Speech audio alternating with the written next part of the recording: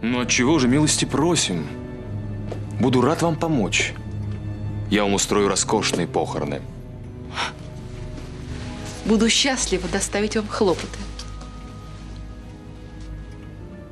Вот этого-то я и опасаюсь.